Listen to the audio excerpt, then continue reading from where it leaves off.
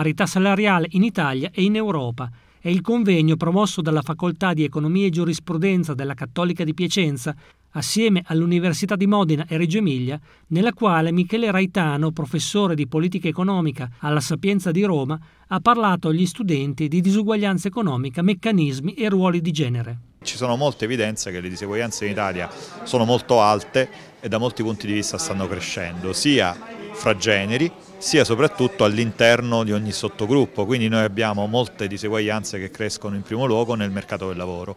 Quindi queste differenze enormi che crescono nel mercato del lavoro che si accompagnano a molti lavoratori a bassissime retribuzioni, tra cui moltissime donne, e contemporaneamente però persone che guadagnano molto bene. Da capire, secondo Raitano, cosa innesca questi meccanismi. Una chiave di lettura potrebbe essere in qualche modo rassicurante dicendo che sono i mercati che premiano le persone che sono più brave e più meritevoli, ma allo stesso tempo moltissime evidenze mostrano che i meccanismi attraverso cui si, si, generano queste diseguaglianze spesso sono meccanismi inaccettabili, sono legati a mercati che non funzionano bene, a posizioni di rendita oppure a situazioni in cui i lavoratori sono eh, in certo senso sfruttati, riescono a ottenere meno di quanto dovrebbero ottenere nel mercato del lavoro. Conclusioni e considerazioni finali rivolte agli studenti sulle azioni promosse dall'Unione Europea per la parità retributiva e il divario salariale di genere affidate a Tindar Dabbo, docente di politica economica all'Università di Modena e Reggio Emilia.